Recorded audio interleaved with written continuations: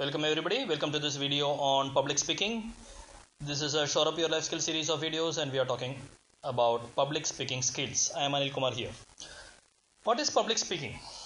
Speaking in public? Speaking outside your home turf? Speaking one to many? Mostly to unknown audience? Mostly one way? Mostly new to the idea that your people are listening to? The idea that you are going to talk about, what you are talking about is new to others? So, good communication is never perfect, be it verbal, non verbal, be it the body language, and nobody expects you to be perfect.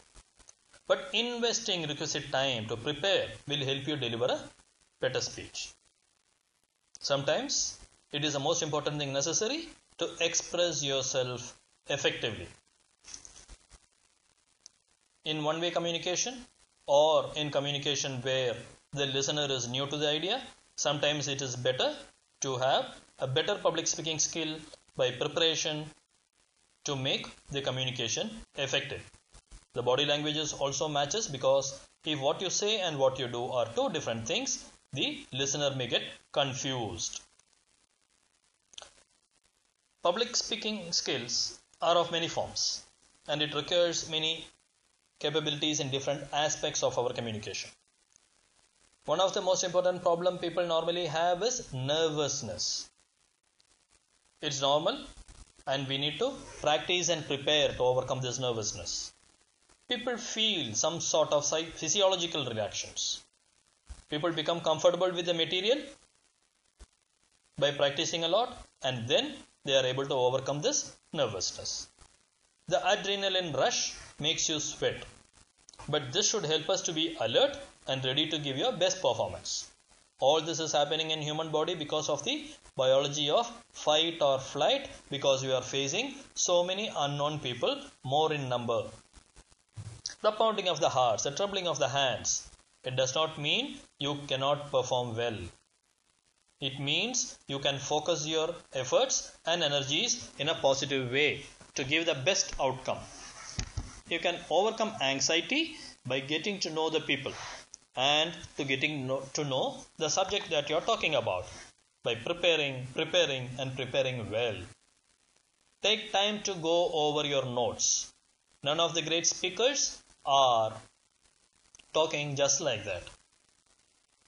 Many times, if you look at the Martin Luther King speech, the most famous speech was a well rehearsed speech.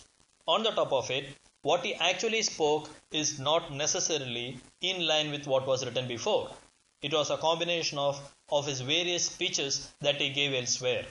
So, tens of thousands of speeches that Martin Luther King gave in different places, whatever is very relevant and effective in those speeches, he pulled it out and he gave on this speech towards the freedom, sensing the requirements of the listening audience.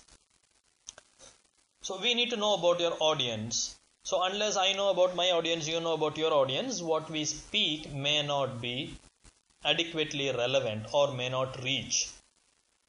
Any public speaking speech, any lecture, any talk is about the listeners, not about the speaker. Consider who the message is for. Consider what the message is about. Determine the choice of words, the level of information, the organization pattern, the motivational statement, the beginning, body, and conclusion of the speech. Think and plan well before. Craft the message well. We have great speech writers. And speech writers are not very popular, but the speeches are. Learn as much about your listeners as you can. Because what you're going to speak is about them. Unless they have their, we have their attention. Unless it the subject hooks them up, the communication may fail. Organize your material in the most effective manner. Create your framework for the speech. Grab the audience's attention in the first 30 minutes. Write down the topic, maybe the general purpose of what you're talking, the specific purpose of it, the central idea, the main points, and go back to those main points every now and then. And always you should have a body and beginning and conclusion for the audience to understand what you are trying to say and how and why. To learn public speaking, watch for feedback and adapt to it. Keep the focus on the audience. Delivering a canned speech will guarantee what? That it is exactly what you wanted to say, but it might be in such a fashion that you lose the attention of the audience. It might be such that the audience will be confused. Even the devoted listener may not be able to get what you are trying to say if it is a canned speech. So you should be flexible enough to have it adequately changed and moderated according to the mood of the audience. Gauge their reactions, adjust your message, stay flexible. It is good to have a plan, it is good to have a craft. You should stay as close to what you have prepared and rehearsed, but at the same time, relevant to the moods of the listeners. Let your personality come through. Be yourself. Don't become a talking head. You would have seen how the various kings were trained to give a speech because people are moved by speeches by their heroes and leaders. You will establish better credibility if your personality shines through your speech. The body language, the tone, the modulation. It's not just the words. Your audience will trust you. In trust in what you have to say. Only if they see you as a real person. Use humor, tell stories, use effective language, use anecdotes, but be sensitive to the culture. Inject a funny anecdote in the presentation and they will remember forever. People used to say when Bill Gates used to talk about funding for the fighting malaria, he let a lot of mosquitoes fly in the hall. People who attended that session will always remember this situation more than all the words that were spoken all through the session. Audiences generally like a personal touch to the speech. Tell stories from your own life. Real life incidents grabs the audience's attention. Storytellers steal the show. Don't read unless you have to. Work from an outline. Reading a script or slide sometimes fractures the interpersonal communication. It makes you lose the eye contact with the audience. You are not able to face the audience, you are facing the screen. A brief outline can serve to jog your memory and keep you onto the task. Maintain eye contact. Keep focus on the audience. Less focus on yourself, more focus on your message. Use more voice and hands effectively. Omit the nervous gestures. Be animated. Non-verbal communication carries most of the message. Sometimes what is unsaid conveys more than what is said. Delivery is as important as the content. Good delivery does not call attention to itself, but instead conveys the speaker's ideas clearly without distraction. So, how you deliver a speech is also something to be learned by practice, by training. Grab attention to the beginning, the close, as much to the body. Try to have a dynamic end.